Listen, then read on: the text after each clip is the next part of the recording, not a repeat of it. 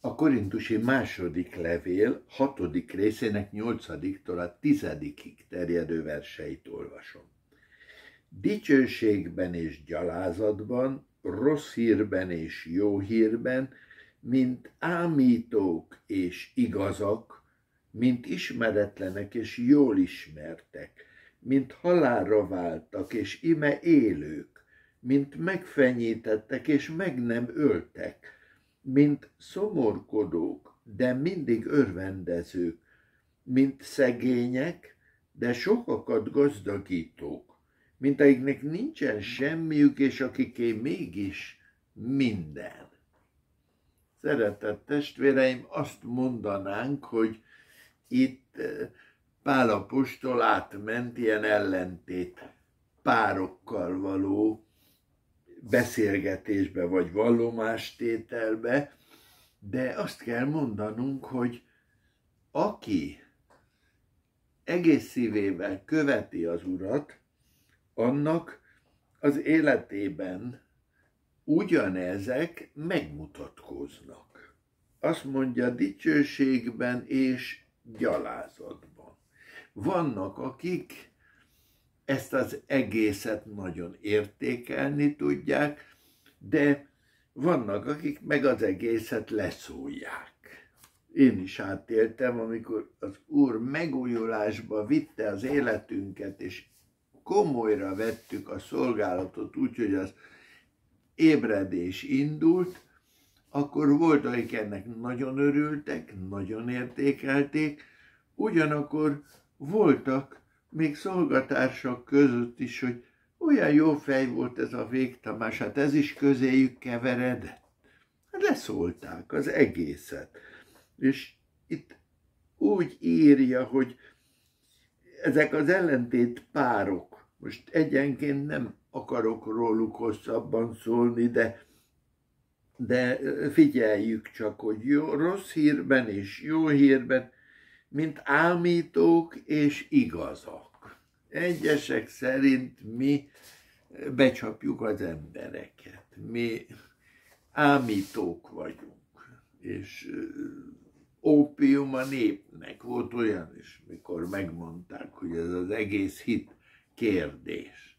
És mégis azt mondja a Pál, hogy igazak, hiszen visszük azt az igazságot, amelyik megáll akárhogy vélekednek róla azok, akik nem ismerik, vagy le akarják szólni, mint ismeretlenek és jól ismertek. Tehát olyanok, akiket sokan nem ismernek, meg félretennének, meg az egész gondolkodás módjukkal is úgy vannak, hogy nem vállalnak közösséget.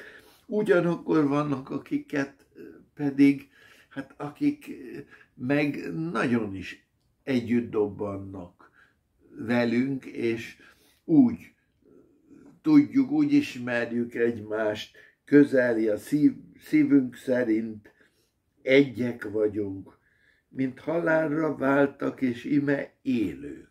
Hát az apostol maga fizikailag is átélte, hogy majd nem meghalt, és hát halálos veszedelemben számos alkalommal volt, de ime él, az Úr miközben beleengedi a nehézbe a gyermekeit, a közben őrzi, tehát az ő kezében van az életünk, és nem szolgáltat ki bennünket embereknek, mint megfenyítettek és meg nem öltek. Már ez korábban is volt, hogy leütnek, de nem kiütnek nem lehetett elpusztítani az apostolt. Ment tovább, és munkatársaival együtt, és nem lehet ma sem elpusztítani Isten országa ügyét. Mindig támadnak újabbak, akik fölveszik az ászlót, viszik tovább, és hangzik az evangélium. Mint szomorkodók, de mindig örvendezők. Hát gondold meg, testvérem, azt mondanánk, hogy az Úrra találtunk, most már csupa napsugár az élet. Hogyne, sokszor szomorúak vagyunk, Sokszor amiatt is szomorúak vagyunk, hogyha a közvetlen szeretteinket, vagy a ránk bízottakat nem tudjuk igazán Jézushoz szeretni.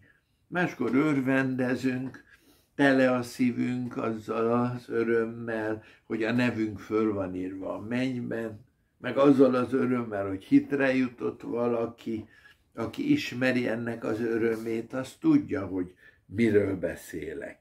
Mint szegények, de sokakat gazdagítók. Itt is elmondja az apostol, hogy hát ő is úgy nézett ki, mint aki a tarisznyáján kívül mással se rendelkezik és micsoda gazdagságot jelentett, hogy embereknek nyitotta meg a szemét.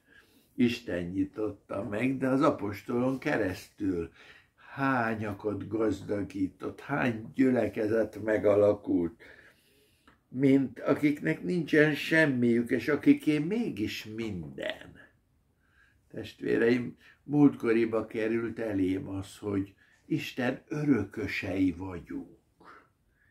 Hát, ha belegondolunk, akkor eláll a lélegzetünk, hogy miről beszél itt az ige.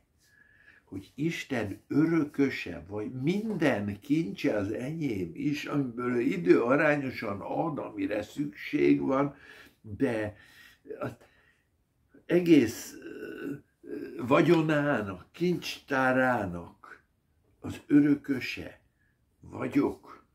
Hát gondolkodjunk ezeken a verseken, és legyen hálás a szívünk, hogy ez nem szójáték, hogy ezt is, meg az ellentétét is, hanem egy nagy valóság, hogy ebben a világban sokszor az Isten gyermeke nem nagy szám.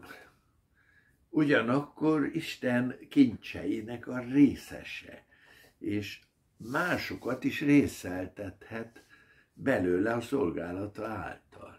Dicsőség legyen Istennek ezért.